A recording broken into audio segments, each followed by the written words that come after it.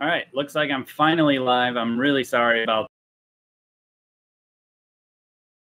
I need to uh, post this link page for the people that support me there, uh, just because everybody can have easy access to this. And while everybody's filtering in, I would genuinely really appreciate it if you would share these links um, so I can get it out to more people. That would really be vastly appreciated.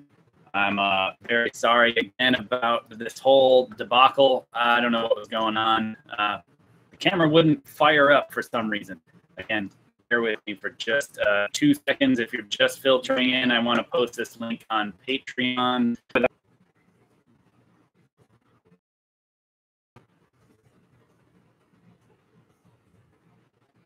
Clearly it uh, is obvious that I don't do enough lives to figure out what's going on and what's causing these problems. So, um, yeah, I think I'm finally done. So, anyway, where is everybody from today? Oh, you got mad echo. Let's see here. Let me see if I can. Is that any better? I muted my uh, screen. Uh, okay, Chris is getting an echo. Anybody else getting an echo? Oh, Tristan, you missed the first comment. I'm so sorry. Anyone still getting an echo? Echo, echo. Um, yeah, we had uh, some clear issues going on uh, with, I don't know what's going on here.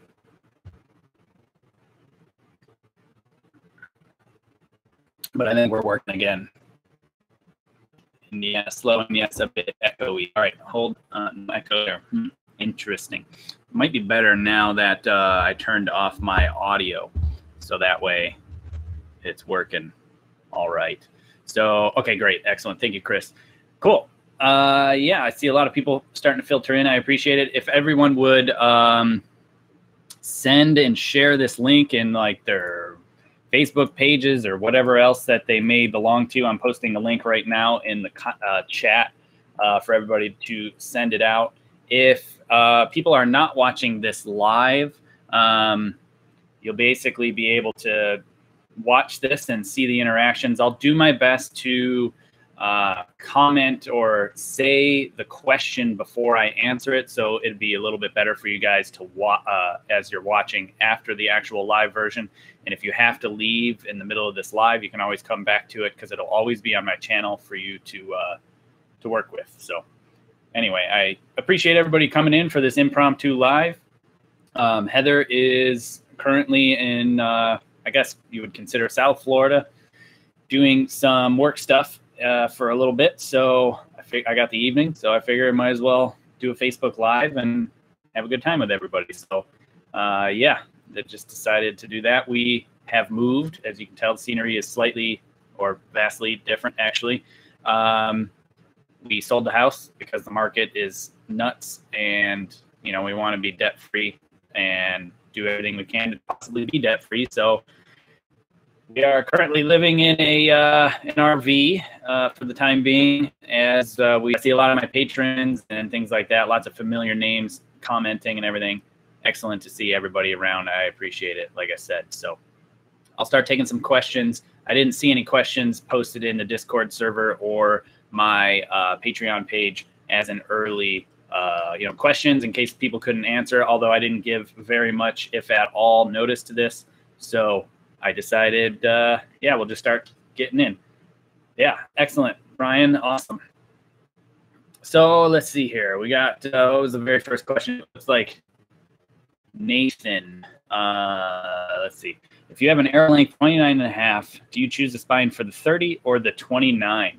That's tough. Um, because say for example you choose the 30 inch or the 29 it doesn't matter but you are say within that because i think um, and actually i think uh, i know this because i saw what people were commenting in my page no my discord server uh, that the arrow charts are roughly a four pound increment.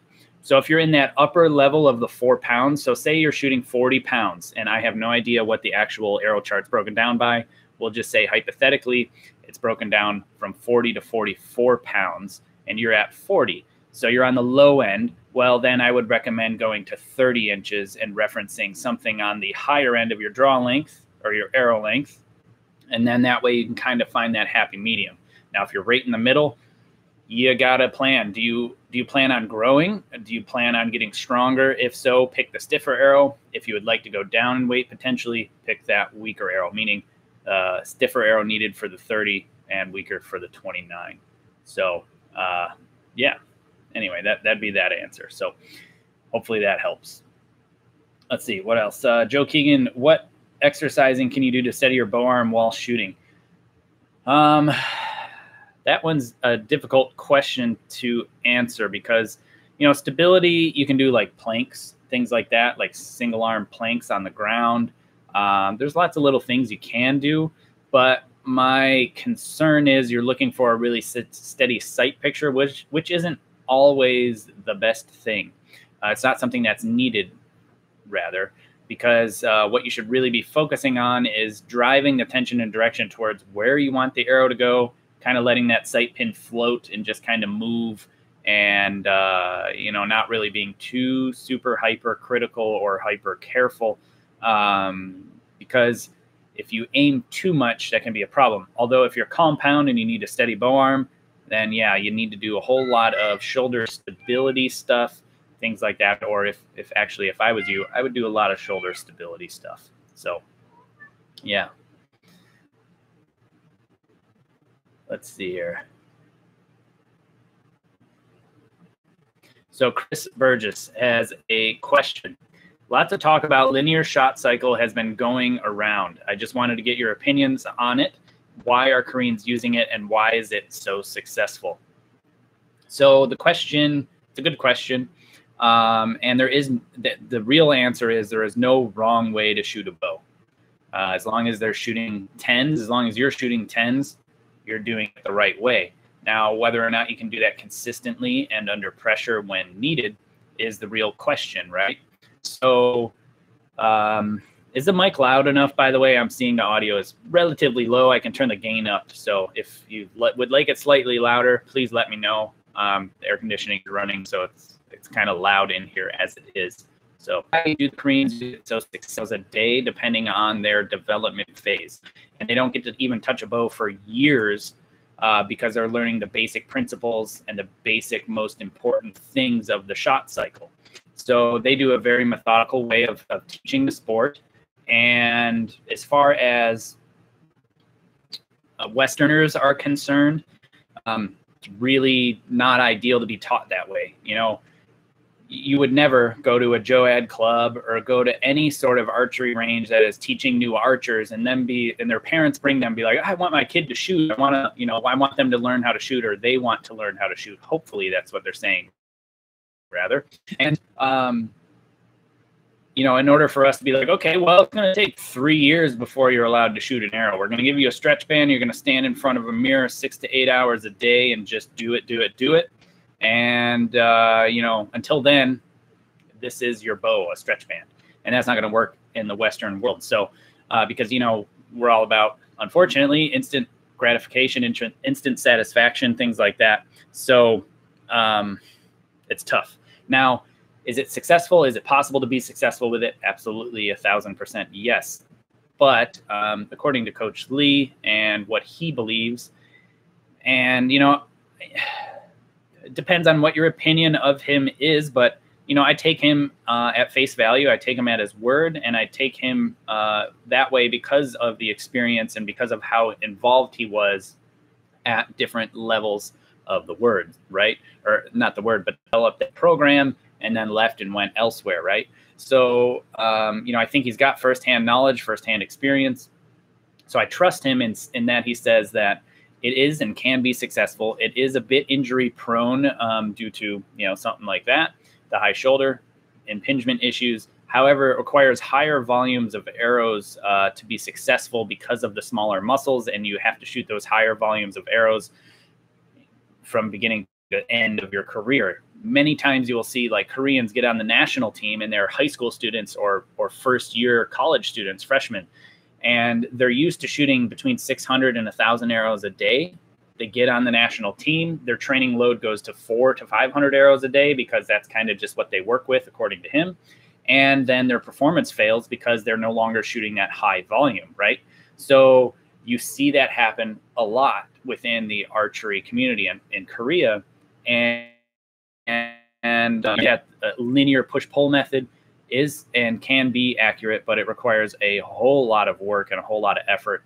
And uh, you know, it's not a bad thing. It just is what it is. So, you know, I, I don't think there's a problem with it. I hope that answers that question. Um, it's kind of a lengthy answer and it's complicated. There's many levels to deal with, and you know, I, i will do my I did my best to try to, to get it to you that the straightest way I possibly could. So as far as why it's successful is because it's been around for forever. So many people have done it, and um, not many people have their fingers in it trying to like morph and change it into something else or translate it uh, for lack of better terms. And that's why you get like weird things with the KSL shot cycle or the NTS system with that, that whole candy cane thing. It was, yeah, I just shake my head because it's not real, it's not right, and technically it's against the rules in a lot of competitions because it's kind of a side draw, which is drawing in an unsafe manner, which would be the same as a sky draw. So I don't know. I, I don't know. Anyway, as you can tell, I'm a bit peeved about that. I'm not quite sure. So as everybody's filtering in, I see more people are starting to come in. I appreciate it. Sorry about the issue uh, with the previous lives starting and stopping the uh, camera. I couldn't get to work. Um, I would genuinely appreciate it if anybody's who's here would uh, share the link I just put in the chat stream uh, to get it out to more people. It's impromptu. It's a holiday weekend in the United States. So I don't know how many people will show up, but uh, again, Heather's out of town and uh, figured I'd do a live. Well, I got time to kill. So, and as questions are coming in, they kind of filter in relatively quickly, and there's a lot of them. And uh, if I miss them, just comment again, and I'll do my best to answer them. So let's see here. What do we got? Uh, James. James Burns got a question. My partner has a really short draw length, about 24 and a half inches, and is wondering what the important factors for picking limbs with that short of a draw length, especially for DFC. I'm assuming you mean draw force curves, uh, but at that short a draw length, I would say draw force curves kind of irrelevant. Just about every limb is going to feel relatively smooth, quote unquote, at about 24 and a half inch of draw length. Uh, best thing you can do is get a short limb, absolutely 100% a short limb. And if you can get a quality 23 inch riser, it would be of massive benefit for them, especially if they're going to try to shoot longer distances outside. Um, although string walking, maybe they would want a 25 inch riser. I, am not sure. Um, but yeah, that's that's would be my my guess um, and suggestion as far as draw force and stuff like that. Not not really important at that shorter draw length because it's just very uh, very very very short. So uh, Nathan, I have not shot the Velos XL limbs yet. Uh, working on that in the process of moving things that got crazy, and uh, that's next. The XL limbs on a 27 inch riser the 27 inch uh, Exceed is next. So that's that's coming up as far as equipment testing. Uh, I've got some grips coming from uh, Arcor, so I uh, can't wait to get my hands on those. So that way I can happily shoot the bow without any sort of issue there.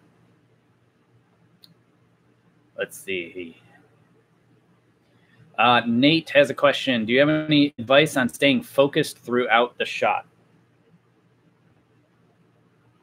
Um, um, tough to say.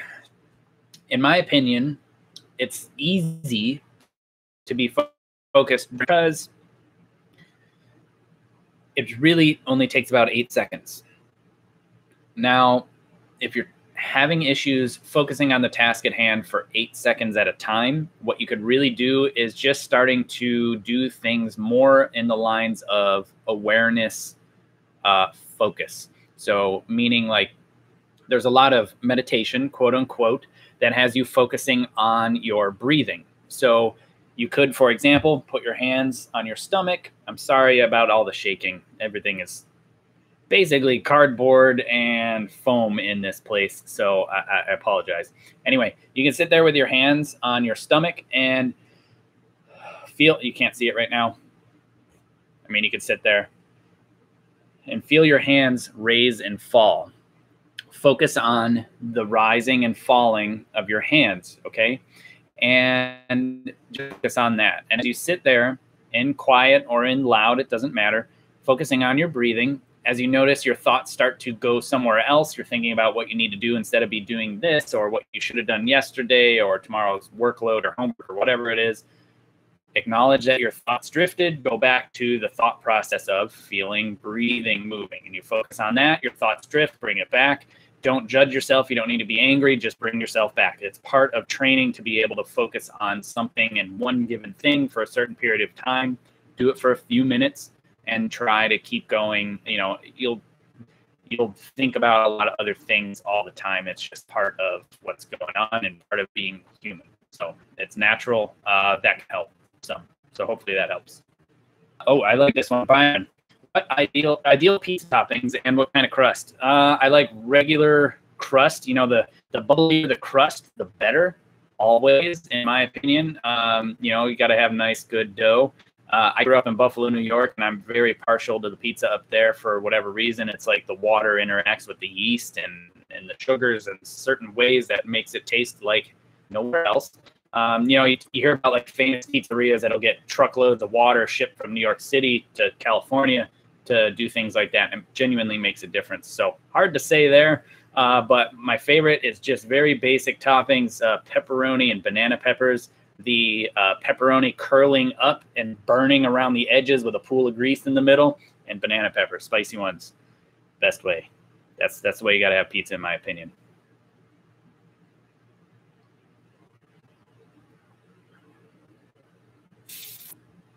Now you know, Paul. Fabian, uh, thanks for being a member, by the way, and same for you, Ryan. I genuinely appreciate uh, I appreciate your support, as well as all my patrons and people who are involved in helping and donating and allowing me to do this channel. You know, allowing me to do it more. I appreciate it. Pineapples, Byron. I, I like. I, I do like a Hawaiian pizza from time to time. That's for sure. Let's see, Fabian, how, how long do you hold on a gold while aiming in bare bow before releasing? When lifting the bow, would you say your arrow starts over the target, or what is a good reference point to start? uh, well, there's a multi-part question there. So, how long do I hold on the gold while aiming? As long as it takes for my grip sear to go click, basically. Um, ideally, I would say two to three seconds. That would be my ideal time frame. But barebow is so subjective and so individualistic. It's really impossible for me to say this is what you should do. However, I think within a two to three second time period, uh, it allows you to be able to focus without being distracted. And it also allows you to still shoot with peak levels of uh, strength without starting to, you know, lose that as you're holding for too long. Now, as far as uh, when I'm lifting the bow, would I say your arrow starts over the target? Um, yes, absolutely. I roughly, my shelf uh, probably flashes in front of the, the gold as I'm going into setup position as I start to draw back. And like I've said in the barebow form series, specific in the setup position, I've noticed that I have to raise my bow arm much higher than Olympic style recurve uh, because of having no sight and using the arrow as, as a reference. So um, that that's where I would start. um, let's see here. trying to find a good question here. Uh, Chris S. He's got a he's new to archery, but having tried most styles, barebow is his main focus. I've been learning with uh, clubs equipment, which is around 20 pounds. I'm going to buy your you're going to buy your own bow, and I'm sure which poundage. Uh, honestly, so you're 32 and you're five foot 10, so your draw length's probably similar to mine. I would, um, I'd be cautious with going much higher than 20 pounds unless you feel like that is like, you know, light as a feather. Um, lighter is always better to start with. so, you know, and you can always sell used light limbs relatively easily, in my experience, because so many people want to get into the sport. Now, as far as high end limbs and high draw weight, it's a little harder to sell. Um, so, you know, starting with someone, something around that 20 pound range, if you were to like jump to 24 pound limbs and, and back them out all the way, you'd be right around that 20 pounds. So you wouldn't feel much of an increase. But then over time, you could increase the limb bolts, uh, you know, screw them in, which would increase your draw weight and you could grow into them. So, and sorry, that's not easy as far as answering uh, and without really talking to you more, but that would be where I would start.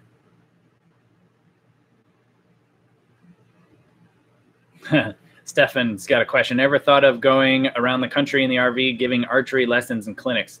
Absolutely, 100%. Uh, I've done uh, some clinics or seminars or whatever you would call, uh, and I would love to do that more. And I would love to tie them into like sh- uh, shoots as well. You know, I, my favorite game is field archery, and I would love to be able to shoot a lot more of that, especially in areas that it's you know very challenging with extreme uphills and downhills because that's always a lot of fun. And i would love to tie that into seminars. So not just cross country but across the world too. Um, now as far as traveling with this unit here this is a, actually a, a destination rv as by all the windows um, you know florida is uh, you know he- heavily involved in mm, recreational vehicle parks around here. So we figured we could live in this for a year to build our house and then uh, you know be able to sell it and recoup as much money as we could uh, as as without losing it on the value because this is a popular unit to park around here. So as far as dragging it around the country, not ideal, but about a year ago, uh, Heather and I did buy a really really cool vintage RV that I cannot wait to actually fully renovate. Um, if some people don't know, but I do as a my secondary job or my primary job at the moment is I restore and customize um, old vehicles. So right now I'm building a 66 Chevrolet C10 pickup and a full custom frame, everything from the ground up, all done in house. And we got a, a 71 Winnebago Chieftain, which is just disgusting yet awesome looking and all the same aspects. So I can't wait to uh, make a Restomod RV one day, and we'll probably drive that around the country and host seminars, hopefully within the next couple of years. So I, I would love to do that. I'd love to go all over the country. I've never been to Hawaii, Alaska, places like that. Um, I would love to to travel and uh, be able to share this more in person with people for sure. So again, as people are commenting, please keep commenting because the chat moves and uh, happily uh, pick theirs out as well. So thanks everyone for that support. Let's see. Uh, so this is a good question, and I'll answer. Uh, Matino Legero, on your very first videos on the bow, smash me in the uh, every shot. Why did I do that? Um, or why did I stop? And actually, it never, the stabilizer never actually hit me in the groin. It was hitting me on the inside of my rear thigh. Uh, it looked very close and never even once scared me because it was far enough away. Although the pants I was wearing were extremely baggy, uh, really uh, baggy windbreakers because it was winter time in February while we were recording those videos way back when in like 2006 when I first started this channel. Wish I would have continued it. Anyway, um, yeah, it doesn't, uh, never even comes close to there. If it did, I would not let that happen.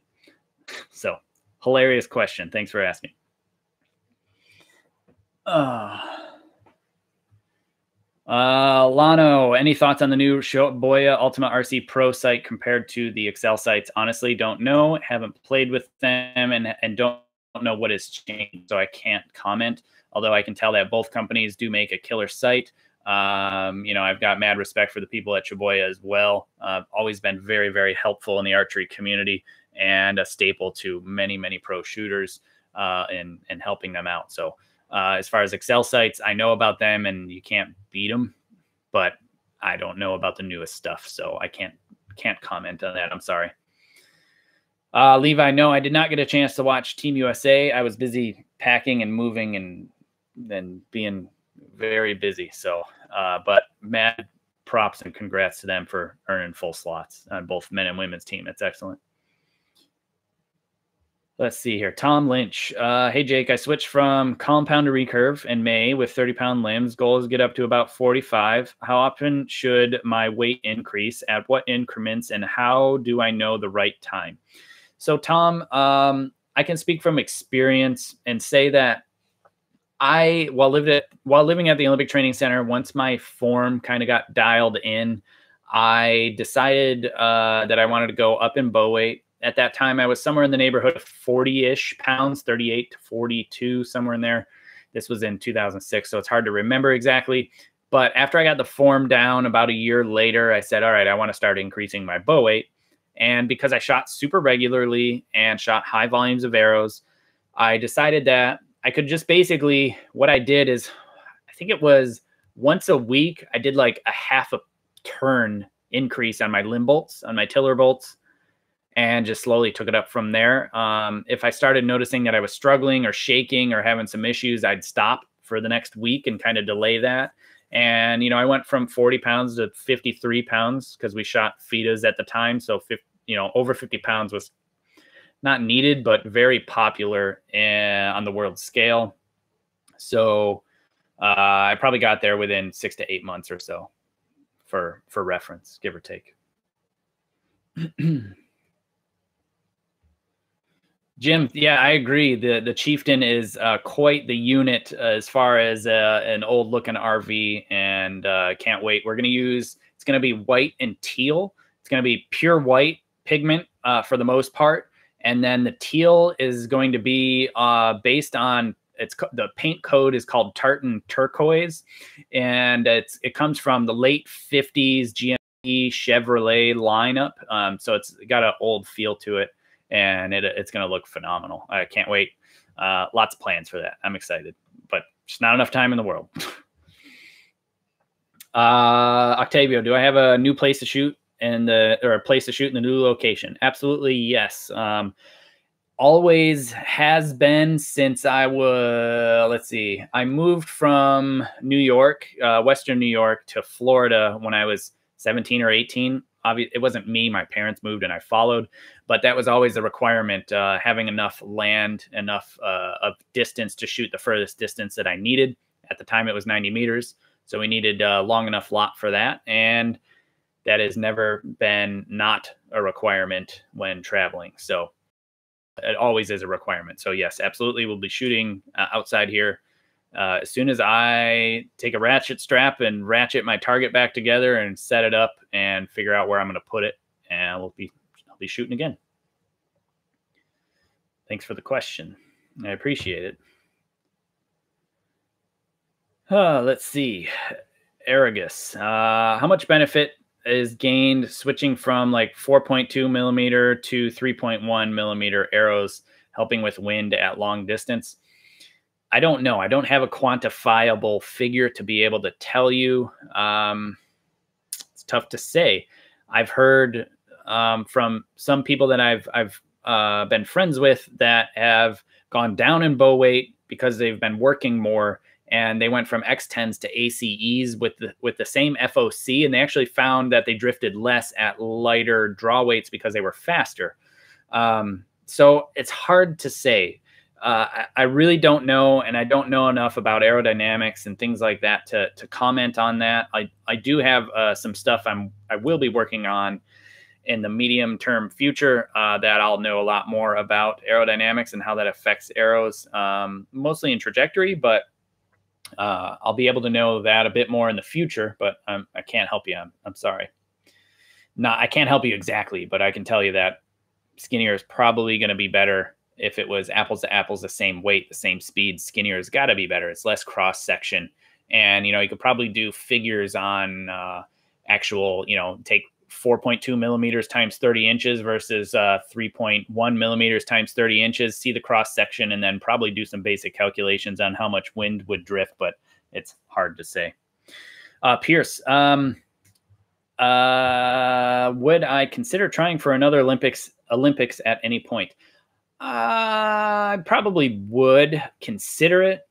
Um, it would depend on a whole lot of factors. You know, as of right now, I just don't have the time to dedicate to that type of stuff. Uh, I could probably potentially do it more. Now, I, I, can't say that. I can't say that I would do it more recreationally um, because I just don't think I'd be satisfied with performance if I didn't actually give it a go. I'm that kind of person and that kind of competitor. I have to be at my top uh, and give it my all and leave it all out on the range. Otherwise, I'm just not going to be satisfied. So, uh, as far as taking it seriously, potentially, um, it's just there's a lot more to life than going to the Olympics, and I've already done it. You know, um, I really loved it, and I want to go back, but um, you know what makes me happy and satisfied and brings me joy uh, way more vast outside of just competing at a high level. But it is fun. Do not get me wrong. And there is a bit of me that wants to go again for sure.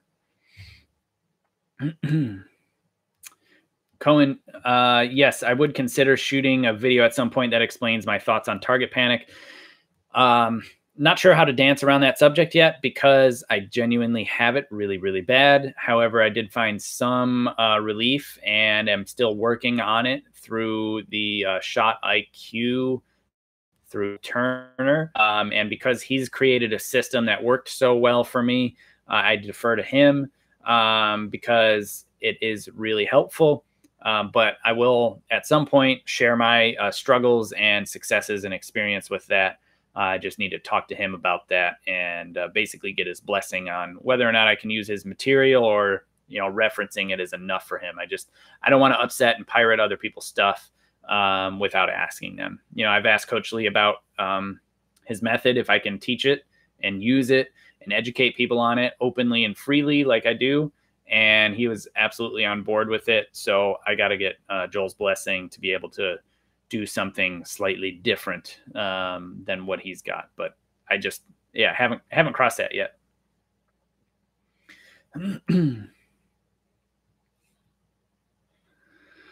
Let's see here.